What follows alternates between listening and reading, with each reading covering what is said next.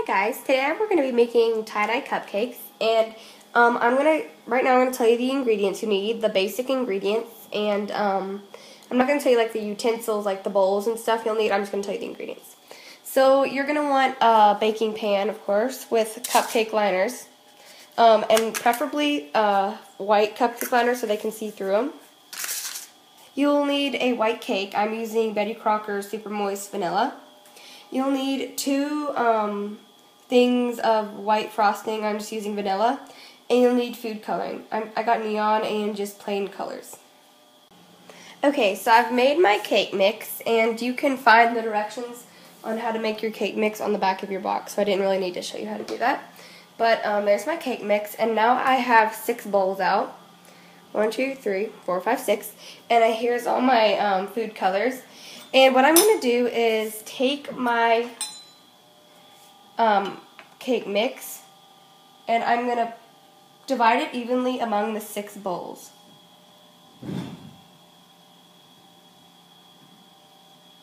So once you've done that, you're going to, um, well actually divide your um, cake mix evenly into your six bowls and then I'll show you what to do next. Okay, so I've divided up my cake mix into my six bowls and now I'm going to start coloring them. So this is my red. I just used my red um, food coloring. I used about 10 to 12 drops, I think, and it came out to be this really pretty red. And now you're going to make an orange, yellow, green, blue, and I'm probably going to do like this pinkish purple color. So um, now, uh, so you divided it up, and now you're going to food color each of them, and I'll show you what to do once you put all of your colors together. Okay, so now I've divided um, all six of my icing and I colored them so they're red, orange, yellow, green, blue, and purple. And the purple is kind of hard to um, mix, but because it kind of looks a little gray. But yeah, the food colors I was using, as you can see at the beginning of the video, those work really well. Look how pretty the blue is. Ooh. Okay, so now the, um, you're going to take your baking sheet with your cupcake pans and um, you're going to take a teaspoon,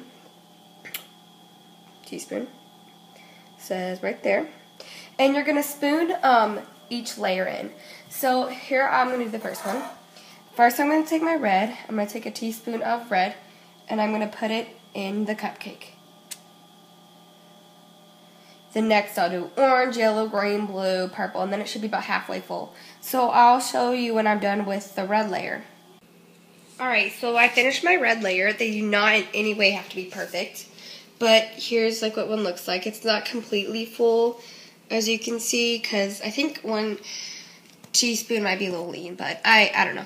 I've never made these. But um, yeah, so there's what the red looks like. And now I'm going to move on to my orange, and I'm just going to put it on top of it. And then you're going to do the same with the yellow, and the green, and the blue, and purple. And I'll show you each layer. Here's my orange, and as you can see, they just kind of like merge into each other and it looks really cool. So that's why they don't have to be so perfect. There's my yellow. There's my green. There's my blue. Okay, so now I finished it and they look so cool. Um, so now you're going to want to bake them. Uh, for the Betty Crocker vanilla, um, it says to bake the cupcakes for 15 to 20 minutes. So I'll see you then.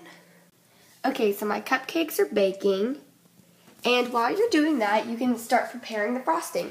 So we're going to do exactly what we did with that, except we're going to use frosting.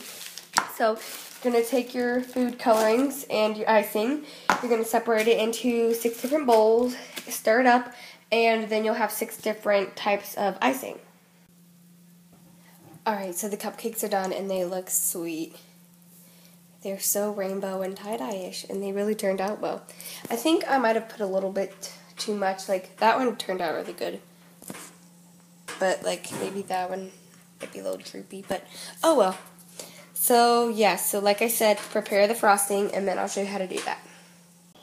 So I divided my frosting into six different bowls, just white, and they're both pretty empty. Uh, yeah, so my dad and my brother are playing war, so that's probably why it's there he is. Um, so uh, here's my red icing.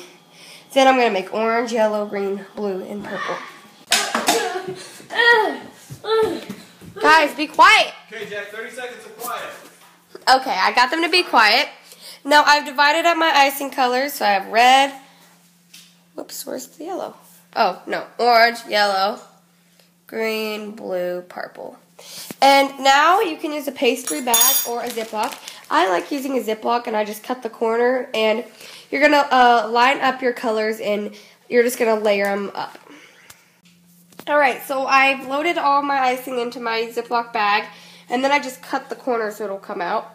And I just kind of, I don't know, just kind of put it in there so it's all rainbowish. Then you're just going to ice the cupcake and I'll show you what it looks like when it's done. You can ice it however you like. Okay, so this this is what my finished product cupcake looks like. It's in my fridge. But there's one. And they looked really cool. So there they are.